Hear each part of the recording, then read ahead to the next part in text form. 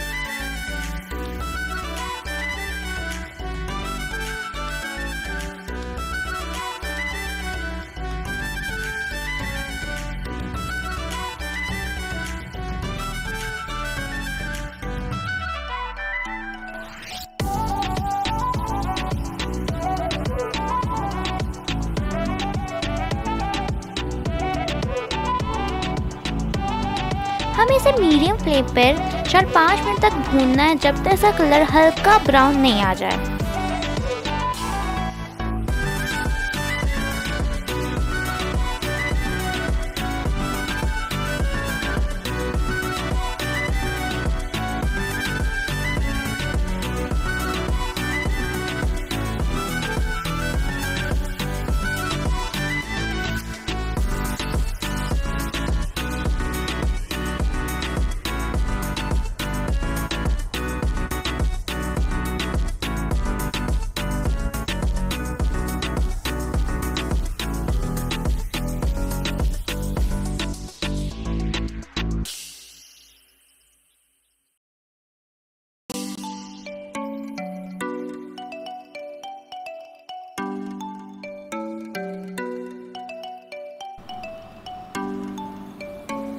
मैंने यहाँ पे चार इलायची को कूट के यूज़ किया है। अगर आपके पास इलायची का पाउडर है तो आप उसे भी इस जगह पे डाल सकते हैं।